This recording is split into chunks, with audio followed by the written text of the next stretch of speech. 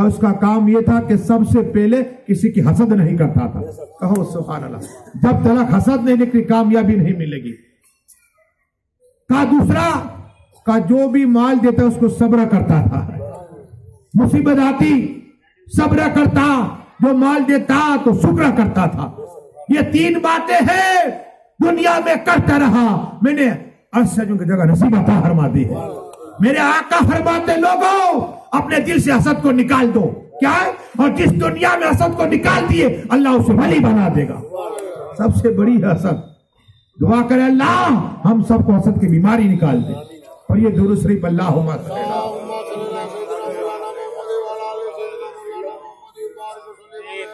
سلاۃ وسلام علی کا یا رسول اللہ صلی اللہ دو باتیں غوث اعظم کی، تاکہ پھر تقریب میں سلاۃ وسلام ہو جائے۔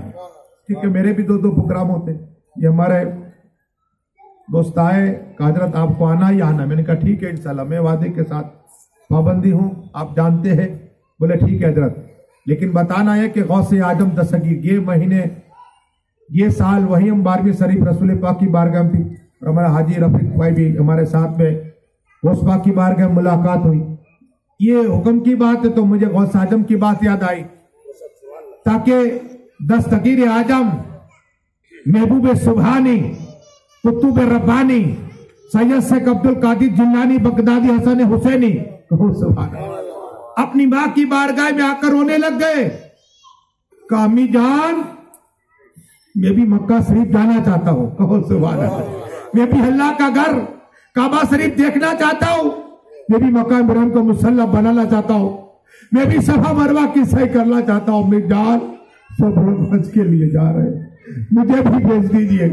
ماں نے کہا بیٹے عبد القادر تو یہی رہے علم دین سیکھ کہو سبحان اللہ۔ علم دین سیکھ یہ علم کیا اللہ نے قرآن میں کہا، محبوب صلی اللہ دعا کرو۔ ربی زدنی علم، کیا؟ علم آگ ہے۔ جو عالم ہوگا، علم والا ہوگا، لوگ اس کے محتاج ہو گئے کیا ہے؟ ہاں یاد رکھو اس علم سیکھو کوشش کرو یا مدد کرو تو بھی پارٹنر بن جاؤ گے ہاں پارٹنر بن جاؤ گے اور جا میں پھر سجا مصطفیٰ کی وہاں جایا بھی کرو۔ تاکہ بخشی کی صنعت مل جائے۔ ہاں تھوڑا وقت نکالو آقا کے لیے۔ وہ آقا، دنیا میں آئے تو ہمارے رونے، روتے تھے رب حبل امتی۔ کیا؟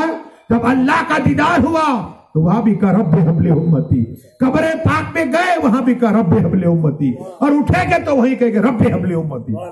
وہ آقا کا مہینہ ہے، جا ملاد ہو، جایا کرو۔ کیا؟